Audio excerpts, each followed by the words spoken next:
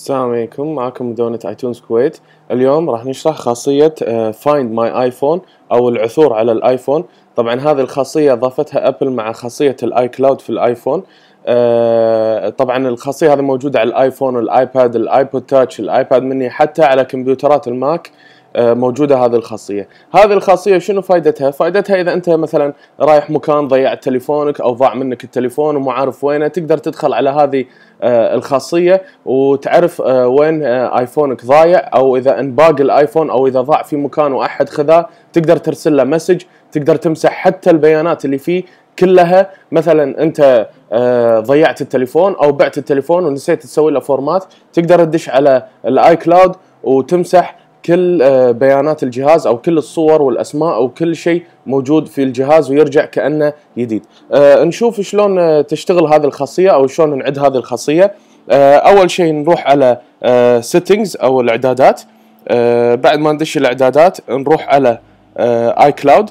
طبعا إذا مو موجود عندك ال iCloud أو مو مفعل ال iCloud تروح تفعل ال iCloud من الإعدادات تحط ال Apple ID مالك بعد ما تسوي sign in يقول لك آه هذا ال message انه آه تبي أشغل خاصية ال iCloud آه آه اللي هي Find My iPhone تقول له okay شغلها على أساس يتعرف على آه الخريطة. لاحظ معي هذه كلها آه خصائص موجودة في ال iCloud أنت تنزل على آخر خاصية اللي هي Find My iPhone لاحظ معي هذه هي خاصية Find My iPhone تقول له allow تشغلها تقول له allow أو آه، سماح. آه، على أساس إنه يقدر يتعرف على الخريطة اللي موجودة في الجهاز. آه، بعد ما تفعل هذه الخاصية أنت كذي آه، فعلت خاصية Find My iPhone نشوف شلون طريقة استخدامها عن طريق الموقع أو شلون نمسح البيانات اللي موجودة في الجهاز أو حتى إرسال message أو ايا كان. لاحظ معي هذا هو الجهاز بهذا الشكل. نيجي ندخل على المتصفح اللي هو السفاري أو Explorer وندخل على موقع i آه، Cloud لاحظ معي هذا هو موقع ال iCloud بعد ما تدخل على الموقع راح تطلع لك هذه الصفحة يقول لك سوي تسجيل دخول في حسابك في ال iCloud طبعا تحط آه، حسابك في ال iCloud اللي هو حساب App آه، Store مالك أو حساب ال iCloud مالك وتضغط تضغط تسجيل دخول. بعد ما تضغط تسجيل دخول راح يدخلك على هذه الصفحة، هذه الصفحة اللي هي صفحة الإيميلات اللي أنت مسوي لها نسخة احتياطية أو الأسماء أو التاريخ أو ال note أو التذكير، هذه هي خاصية ال Find My iPhone. طبعا أنت آه مو شرط أنك أنت تنزل برنامج على الايفون، مجرد ما أنك أنت تفعلها على آه ال iCloud مثل ما إحنا فعلناها في بداية الفيديو، خلاص. مجرد ما أنت تدخل على الموقع وتضغط على هذا آه آه، هذا آه، البرنامج أو هذا هذه الصفحة لاحظ معي راح يدخلنا على صفحة آه، الخرائط أو صفحة Find My iPhone لاحظ معي فتح لي الخريطة راح يبين لي وين الجهاز موجود أو وين هو موجود الجهاز مالي. لاحظ معي صارت نقطة خضراء على هذا المكان الجهاز موجود في هذه المنطقة. لاحظ معي هني كلمة devices devices لو أضغط عليها راح يطلع لي كل الأجهزة اللي مفعلة على ال iCloud لاحظ معي هذا ال iCloud الخاص فيني. آه لاحظ هذا ال iPhone 3 GS هذا ال iPhone 4 S هذا ال iPhone 5 هذا ال MacBook مالي حتى آه متعرف على ال iCloud آه جميع أجهزتك راح تطلع على هذا المكان. لنفرض إن إحنا مضيعين جهازنا اللي هو ال 4 S هذا هو ال 4 S نضغط عليه click. لاحظ معي راح يطلع لنا صفحة ال four S حتى آه، نفس لون الجهاز مالي iPhone 4 S أبيض. آه، لاحظ آه، هني عندي خصائص موجودة أو أو أوامر موجودة هني في هذا الجهاز.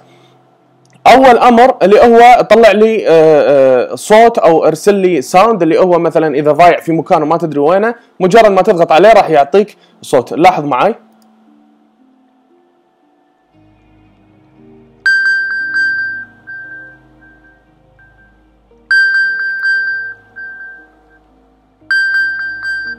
مجرد ما اني اضغط okay آه راح آه يوقف معاي الصوت واول ما القى الجهاز راح اخذ الجهاز والاقي آه الجهاز واضغط على okay راح يختفي الصوت من عندي. هذه خاصية اللي هي خاصية Lost Mode آه أو أو أمر Lost Mode لو تضغط عليه لاحظ معي راح يقول دخل التليفون آه، number ندخل إحنا رقم تليفون مثلا آه نقول هذا الرقم مثلا على سبيل المثال ونضغط next لاحظ معي راح يقول لي تبي ترسل له message؟ This iPhone has been lost. Please call me. أنت إذا أول شيء حطيت الرقم راح يطلع له هذا ال message وتحت الرقم مجرد ما يضغط call راح يضغط call أو مثلا آه، آه، تكتب له آه، اتصل علي. هذا هذا جهاز iTunes كويت مفقود مثلا. ونقول له done. لاحظ معي راح يوصل message على التليفون وراح يقول لك آه، اضغط call آه، على أساس تتصل على الجهاز وهذا ال message اللي أنا كتبته اتصل علي هذا جهاز iTunes كويت مفقود. آه، مجرد ما أنت تحط الرقم وتحط هذا ال message مجرد ما هو يضغط على call لاحظ معي راح يتصل على الرقم اللي إحنا حطيناه. طبعا هذا هو الرقم. لاحظ معي هذا هو الرقم اللي إحنا حطيناه وهذا آه، ال message اللي إحنا حطيناه.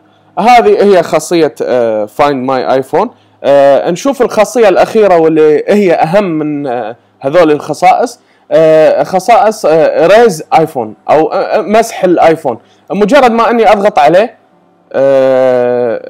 إذا ضغطت على هذا ال message لاحظ erase iPhone 4 S راح يقول لي إنه راح أمسح ال contact وراح أمسح ال settings وراح أمسح كل آه، إعدادات التليفون وحتى آه، الصور وكل شيء موجود في الآيفون راح ينمسح. إذا ضغطت على الحمراء آه، راح يطلب منك الرقم السري. مجرد ما أنت تحط الرقم السري اللي هو خاص في الجهاز اللي مكون من أربع أرقام تحط الرقم وراح يمسح لك كل شيء موجود في الجهاز. وراح يرجع جهازك مثل ما كان واللي ماخذ الجهاز ما راح يستفيد منه أي شيء لا راح يلاقي فيه صور ولا راح يلاقي فيه أسماء ولا راح يلاقي فيه أي شيء. هذه هي خاصية ال iCloud أو خاصية ال Find My iPhone الموجودة في ال iCloud أتمنى أن الشرح كان كافي وافي أتمنى أن الجميع يطبق هذه العملية ويضبط هذه الإعدادات. آه، أتمنى أنكم استفدتوا من هذا الشرح. آه، نشوفكم في فيديو شرح ثاني. شكرا ومع السلامة.